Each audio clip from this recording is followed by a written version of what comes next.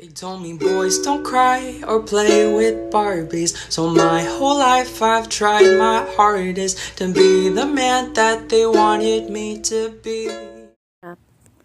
One shot.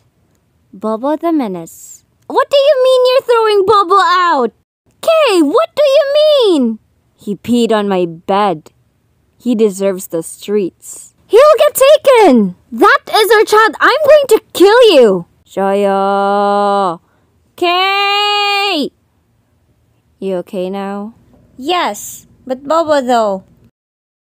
I won't throw him out the streets, but he isn't allowed on the bed for a little while. I want to see him. Later, come home with me.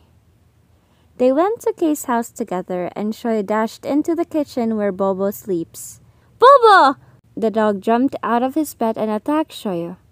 Hey, Bobo. Where's your mom? Chichi? Chichi, Bobo's mom, ran up to Kei and jumped at him. He kneeled down to claim his welcome home kisses and went to get both dogs treats. They're gonna get fat if you keep feeding them treats every time they kiss you. But they look so sad if I don't. They'll be overweight. Not really. They run around in the yard whenever we're out. I watched the surveillance. Oh. Okay, okay. Me and Bobo are going to hang out in your room. See if he got in again. Don't accidentally lay down on pee. Yes, sir!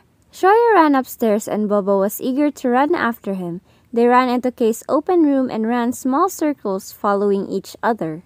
When Bobo's loud breathing made it to Shoya's ears, he plopped face first on Kei's bed, only to be met with a wet surface that definitely stinks of dog pee. Shoya jumped away immediately and ran to the sink downstairs to wash his face. Bobo! You peed on Kei's bed! I did tell you to check. Bobo's a menace, remember? Shoya glared at Bobo who was smiling and breathing through his mouth in short pants. Menace. End!